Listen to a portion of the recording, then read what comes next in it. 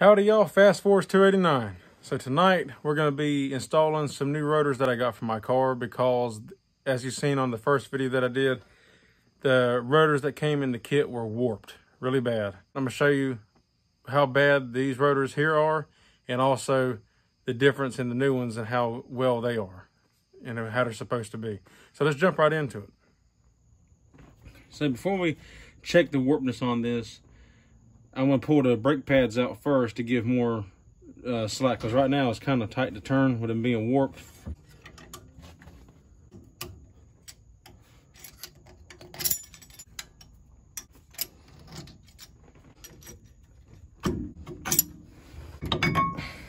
Now we can put our dial indicator on here and check to see how warped it really is.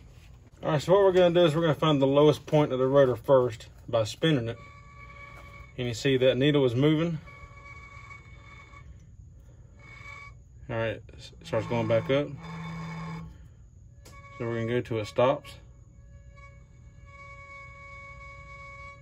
Which is right there. Now we're gonna zero it out.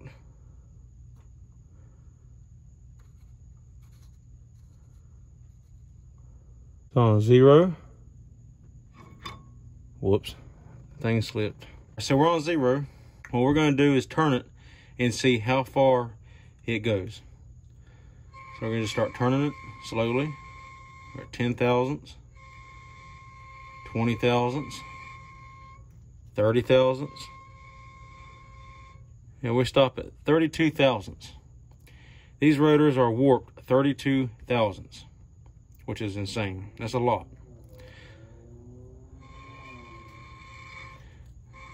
See, it goes back down to zero. That's the lowest point of the rotor.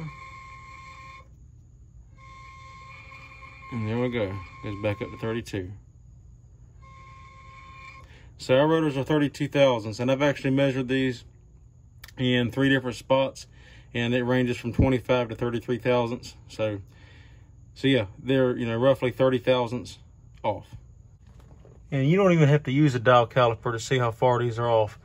Watch the gap in between the rotor and the caliper. Look how that opens up. And then it closes back up again. Like these, that gap closes and opens. That's really bad. That's really far off.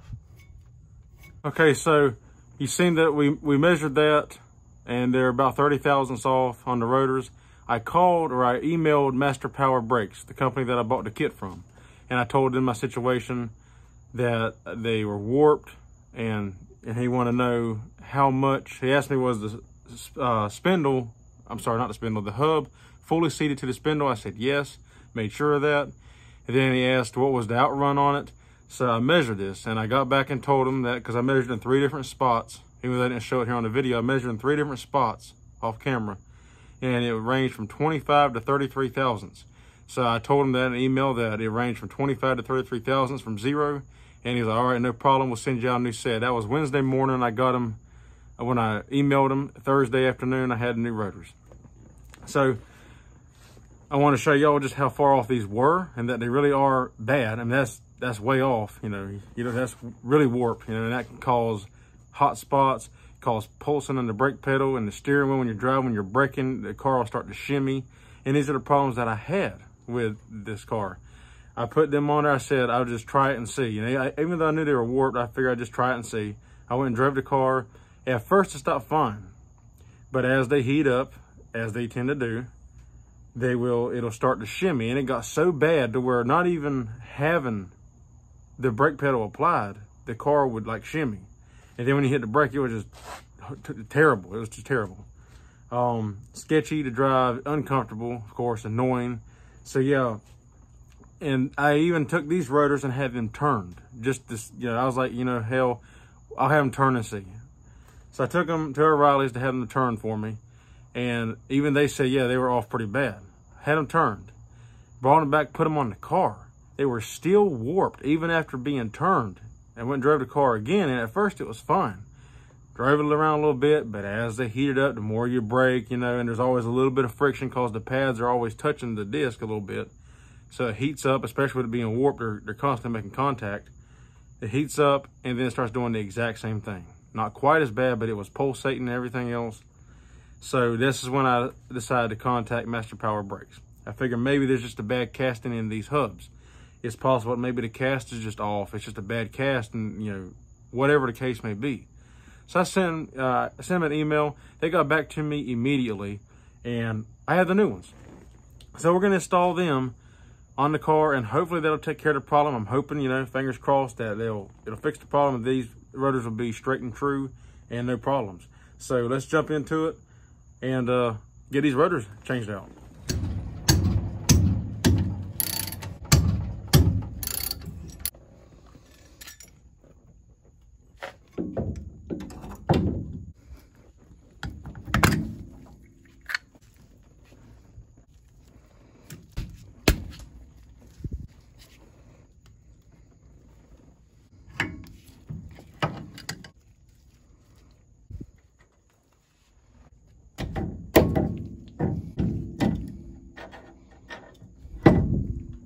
All right, now I'm gonna show y'all a little trick to remove your rear bearing and seal without hurting the seal at all. You will not have to, if you just put seals in your rotors, they sent me new seals, which by the way, one of them happened to get bent somehow. So I'm gonna reuse these seals here. They're brand new. I'm gonna show you how to take these seals out without ever damaging them and you can reuse them again. So while the rotor's still on the spindle, you wanna take your nut and screw it back on just a few threads. And then what you want to do is you want to grab your rotor, and this works on drum brakes as too, on, on the front like this. And you pull it off, and you'll kind of set it down, and you'll feel it. You just want to let it rest there, kind of like that. And take it and just like that, pull it. And there you go, you got your bearing and seal perfectly intact. Didn't hurt the seal one little bit. It's not bent or anything. You can completely reuse that seal, it's perfectly fine. Okay, so here's the new rotors. The good thing about uh, reusing the old bearings, we don't have to pack them or anything. We just take them out of the old rotors, put them in here. Uh, first thing though, I want to do is take a little bit of grease and pack down in this hub. So then that's taken care of. So if any grease runs out of the bearing from being heated up, there's always grease there to go back into the bearing.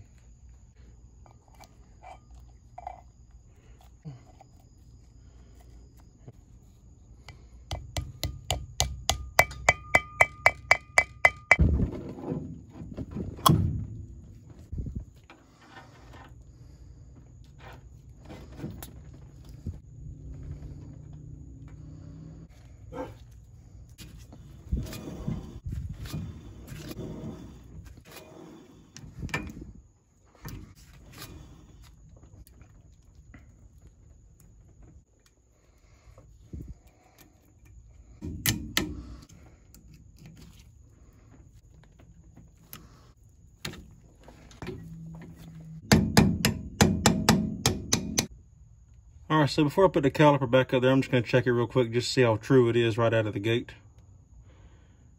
See, if we got it on zero. We're just gonna spin it and see how far off it may be.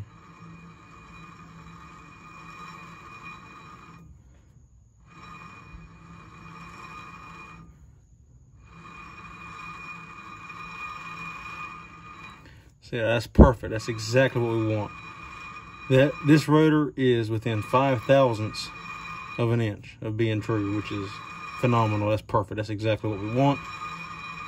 So this right here should be perfect. All right, so I went ahead and bolted the caliper back up to make sure my gap was in, within the right specifications. It's within five thousandths of each other. This one was nine, I'm sorry, this one was 908 thousandths and this one was 905.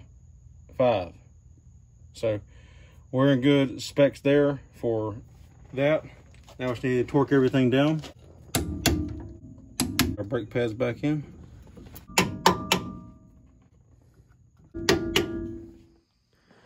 Alrighty guys, well it's done. It's good. The car rides and drives so much better. The steering wheel used to do like a little shaking thing like this whenever you would drive it.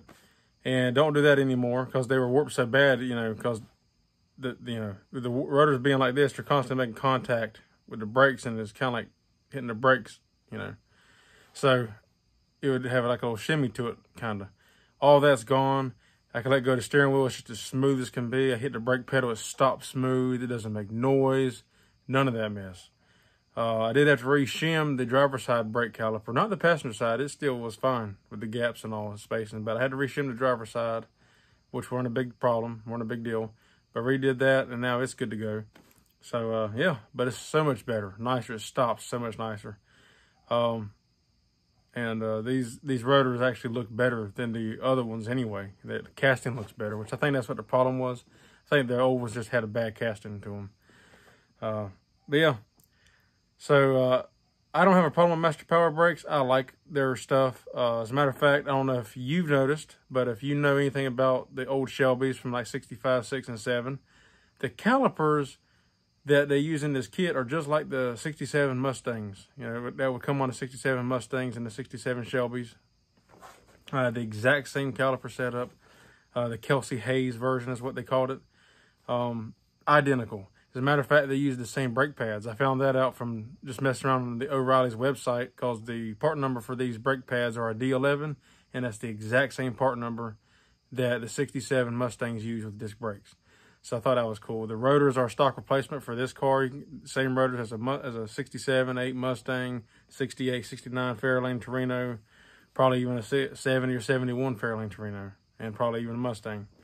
Uh, but yeah, so which works out good for me. I can go get replacement rotors for this car.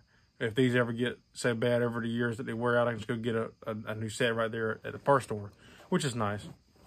But, uh, and the brake pads, you can buy them at O'Reilly. Like I said, it's a D11 part number. Exact same thing. Like I pulled up a 67 Mustang. It's the exact part number that they use. So I thought that was kind of funny and uh, ironic. But yeah, so I guess technically you could say I have Shelby brakes on the front of my car. 67 style. 68, they changed it. 68, they went to a single piston caliper on the disc brakes, but 67 had the four piston caliper like this setup, like they use. So I thought I thought that was pretty cool. Um, I just kind of noticed that by messing around with it, looking at the caliper, thinking, huh, that looks kind of like a 67 Mustang caliper. But I thought that was cool. So yeah, got that taken care of. They have great stuff, and pretty soon in the future, I hope to be ordering the rear disc brake kit that they offer for these cars which will be pretty cool. Have a match set front and rear disc brakes. So, uh, yeah, yeah, good stuff. Y'all check them out. They're real friendly too. Anytime I've ever contacted them, I contacted them a couple times before I ordered the kit to clarify things like what kind of brake pads did they use? Can you buy them at the parts store? Uh, and they say, yeah, they didn't go into all the detail that I just told you about the 67 Mustangs. I don't even know if they know. Maybe they do. But they were just, I just asking, can I go to the parts store to order new brake pads or do I have to special order them? For future reference so I would know. Uh, and also asked them about the brake pedal when I was doing the power brake thing. And they always got got up with me immediately as soon as possible, and they were friendly and nice about it. And dealing with this situation, no problems. They were friendly, easy to deal with. I have nothing bad to say about them. So, uh, but yeah, as always, I appreciate y'all for watching. If you like the video, give it a thumbs up. And also subscribe if you're not already subscribed. I'd appreciate it. It would help me out and leave a comment down below and tell me what you think and if you've run into any similar problems like this on your car or truck. And uh, yeah, thank y'all for watching, and I will see you in the next one. Take care.